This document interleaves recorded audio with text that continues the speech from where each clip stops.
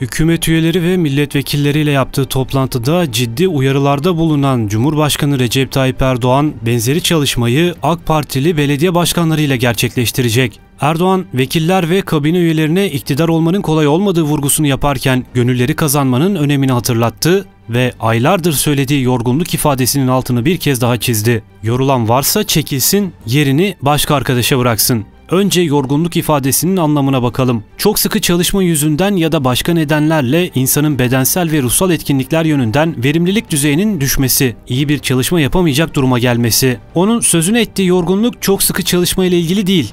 Kim çalışana dokunur ki? Bu yorgunluk ifadesi FETÖ'yle mücadelede etkili olamayanlar ve teşkilatlarla uyum gösteremeyenleri anlatıyor bence. Ayrıca uygun bir üslupla da bu tür yorgunlara siz çekilin diyor. Sezgilerime göre tüzükteki 3 dönem peş peşe milletvekilliği veya belediye başkanlığı yapanların tekrar aday gösterilemeyeceği maddesi yumuşatılacak gibi. Çünkü yerel seçimlerde bazı illerde at başı giden bir yarış vardı. Referandum sonuçları da ortada. O nedenle bir yumuşama hissediyorum. Cumhurbaşkanı Erdoğan il ve ilçe teşkilatlarıyla, belediye başkanlarıyla da yapacağı toplantıda bakan ve milletvekillerine söylediğinin benzerlerini ifade edecek ama biraz da onlara yüklenecek. Çünkü hitap edeceklerin arasında yorgun çok. Gerçi hangi parti olursa olsun hiçbir siyasetçi kendiliğinden yerini başka birine gönüllü olarak bırakmaz. Bırakmadığında da kara kaplı defter sayfaları açılır. Erdoğan iktidar olmak kolay değil diyorsa çok çalışmak gerektiğini hatırlatıyor. Yani tatili milletin arasında yapın demesi AK Parti'nin 2023 hedefi için 2019'un önemini vurguluyor. O yüzden AK Parti'de yokuşa çıkmadan yorulanlarla yol ayrımları yaşanması sürpriz olmayacaktır.